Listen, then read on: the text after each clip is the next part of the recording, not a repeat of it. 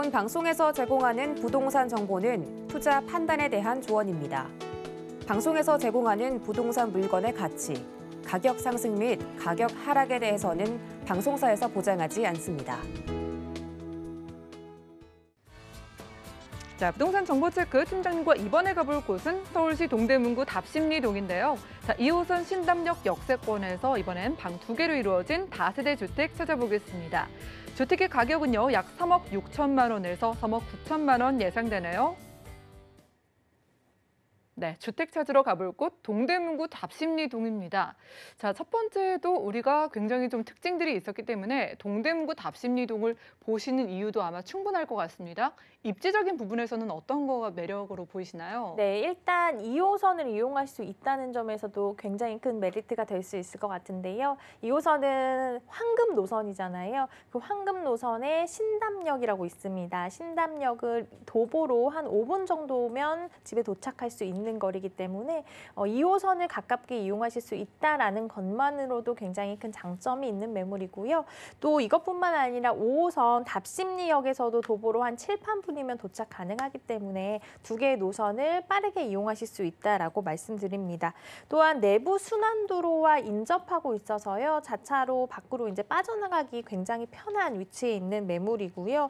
또 이 5호선을 끼고 있다 보니까 중심 업무 단지와 매우 가깝게 닿을 수가 있습니다. 2호선 라인을 보면 이제 강남 업무 단지, 잠실 업무 단지, 을지로 업무 단지까지도 한 번에 쭉 연결이 되어 있기 때문에 그 안에서 일을 하시는 분들 특징을 살펴보면 내가 일을 하는데 머무를 곳은 많이 없기 때문에 주변으로 눈을 돌리는데요. 그 중에서도 서울 시내 중에서 좀 가깝게 인접을 하면서 좀 저평가되어 있는 동네를 찾기 마련입니다. 그래서 지금 소개해드리는 이 동네가 지금 그런 대체 주거지로서 각광을 받고 있다라고 생각을 하시면 될 것 같습니다.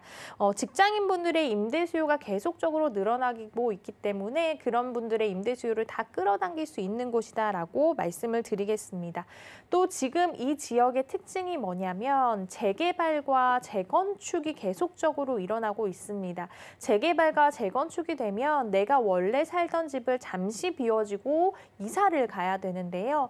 그 주변에 이제 사시던 분들이 자기가 그동안 오랫동안 살았던 생활권이잖아요. 그래서 여러 가지가 다 편리하게 이미 형성이 되어 있는 곳을 떠나려고 하지 않습니다. 그래서 그 가까운 곳에서 내가 살 집을 깨끗한 집을 찾기 마련이기 때문에 그런 분들의 이주 수요까지도 받아들일 수 있는 그런 지역이다라고 말씀을 드리겠고요. 또 주변에 서울시립대냐 한양대, 세종대, 건국대 이런 우수한 대학 들이 밀집이 되어 있어서 그런 학생들의 수요까지도 좀 받아들일 수가 있습니다. 또 주변을 살펴보면 지금 호재들이 계속적으로 일어나고 있는데요. 작은 호재가 아니고 큰 대형 개발 호재들이 일어나고 있기 때문에 이런 호재들이 이제 마무리가 되었을 때 지금 소개해드리는 매물에 바로바로 바로 영향을 미칠 그런 사업들이 잘 진행되고 있다라고 말씀드리겠습니다. 네, 서울 안에서 그것도 2호선을 특히 직장인 분들께는 정말 집 앞에서 이용할 수 있다는 게 특권이라고 할 정도로 정말 편리한 노선이잖아요. 2호선 역세권이라는 거 강조해 주셨습니다.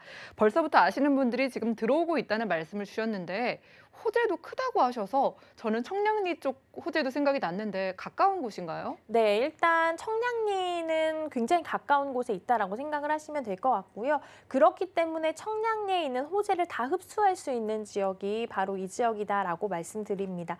그래서 첫 번째 호재가 이제 청량리 역세권 균형 발전 개발 추진에 대해서도 살펴보셔야 될 호재인데요. 일단 청량리 지역은 계속적으로 개발이 되고 있는 거 아시죠? 예전 청량리 생각하시면 안 되 고요. 요즘은 정말 천지가 개벽할 정도로 너무너무 많이 변했다라고 생각을 하시면 될 것 같습니다. 인프라는 계속적으로 좋아지고 풍부해질 전망이고요. 이런 개발의 수혜는 지금 소개해드리는 매물과 굉장히 가깝기 때문에 어, 그 매물에도 충분히 영향을 미칠 사업이다라고 말씀드립니다. 두 번째는 장안평 일대 지구 단위 계획에 대해서 살펴드리겠습니다. 어, 장안평역 주변이 지구 단위 계획으로 구역이 돼서 지정이 돼서요. 상암 월드컵 경기장의 2.5배에 달하는 52만 제곱미터 규모로 개발이 될 예정이라고 합니다. 굉장히 큰 규모로 개발이 될 예정이기 때문에 이 지역도 하나하나 지금 변화가 되고 있다라고 생각을 하시면 될 사업입니다. 세 번째는 중랑물 재생센터 개발 사업과 장안평 중고차 매매 단지 현대화 사업인데요. 중랑물 재생센터가 이제 지하로 내려가게 됩니다. 그러면 또 이제 지상에 새로운 것들이 생기게 되는데 공원이나 박물관 또 테마파크 이런 것들이 생기면서 좀 자연 친환경적인 어, 요소들이 많이 들어갈 것으로 예상이 되기 때문에 기대가 되는 사업이고요. 장안평 중고차 단지 매매 사업은 현대화 사업은 2025년 완공 예정이라고 합니다. 지하 6층부터 지상 30층까지 규모로 이것도 굉장히 높게 올라가는 것이고요. 규모로 형성이 된다라고 하고요. 어, 이것에서는 이제 8천여 개가 넘는 일자리가 또 새롭게 생긴다라고 하니까 정말 많은 일자리가 탄생 을 하는 것이고요. 유동인구 자체도 늘어날 사업이다라고 말씀을 드립니다. 네 번째는 중랑천 수변공원 재정비 사업에 대해서 말씀드리겠습니다.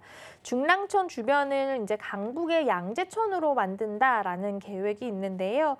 어, 이것도 굉장히 큰 규모라서 저도 놀랐습니다. 여의도 공원에 10배 규모의 공원이 탄생이 된다라고 생각을 하시면 될 것 같고요. 이렇게 되면 정말 잘 만들어 놓을 것이잖아요. 그러면 많은 분들이 일부러 소풍 가고 관광 가고 하는 곳이 될 것이기 때문에 어, 많은 분들에게도 좋은 휴식처가 될 것이고 그 주변에 사시는 분들에게도 너무 큰 호재로 다가올 사업이다라고 말씀드리겠습니다. 마지막으로는 이제 교통에 대해서 호재 말씀드리겠는데요. 면목선 경전철과 동부간선 도로 지하화 계획입니다.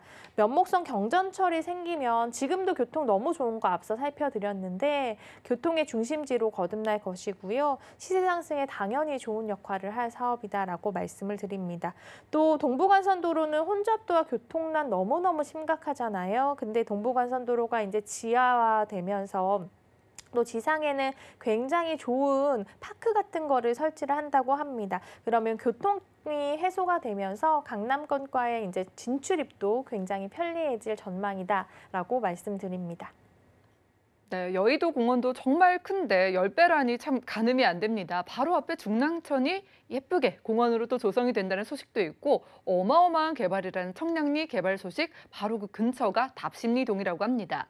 자, 그럼 여기서 주택을 만나본다면 지금의 가격이 또 중요해 보이는데 투룸이거든요. 시세 얼마 정도일까요? 네, 시세 굉장히 좋은데요. 일단 매매가는 3억 6천에서 한 3억 9천만 원 정도 예상을 해보시면 될 것 같고요. 전세 시 3억 3천에서 3억 4천만 원, 월세 시 보증금 3천에 월 120에서 130만 원 정도 예상하시면 될 것 같습니다.